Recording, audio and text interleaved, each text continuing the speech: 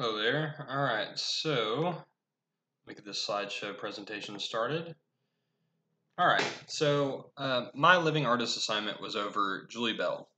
Uh, finding Julie Bell was actually not intentional. When I had first heard about the living artist assignment, I had hoped that my favorite fantasy artist, Frank Frazetta, would still be alive. Um, but unfortunately, I discovered that his death was almost a decade ago. With that information, I set out to find an artist of a similar style. Fortunately, I came across Julie Bell, a modern fantasy artist and former bodybuilder, who, in my opinion, rivals the best illustrators to date, which is ironic because I found her through her husband's current work. Um, Julie Bell is a fantasy artist and wildlife painter. Julie Bell was born October 21st, 1958, in Beaumont, Texas. She now resides in Pennsylvania, where she shares her studio with her husband, who is also a professional artist, Boris Vallejo. Uh, she has two sons, both of which have taken a steps in their mother's direction as professional artists. Uh, Julie Bell has won numerous awards such as the Chesley Awards, Art Renewal Center's International Salon, and has been named a Living Master for her work in fantasy and imaginative realism. Her work are both in exhibits throughout the US and Europe.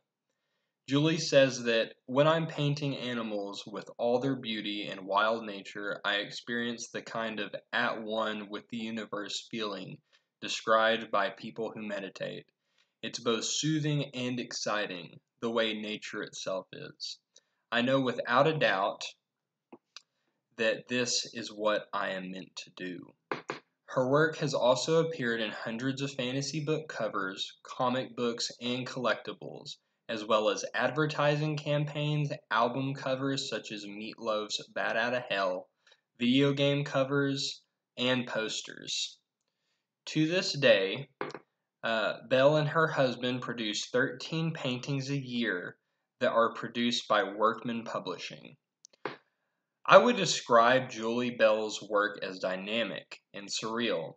For me, I wished life looked as good as her paintings. As a former bodybuilder, I see that Julie pays a great detail to anatomical proportion, complexion, and dynamic movements. Most of her work that features people and other humanoids show aesthetic musculature and desired anatomical proportion. Her dynamic color and variety of style and each piece can sometimes give the impression that you're looking at separate pieces of art by different artists that had somehow been co- cohesively brought together onto one canvas. Some might criticize this aspect of her work, but to me, this seems intentional and creative. If I could finance to purchase all of her work to adorn the walls of my house, I would.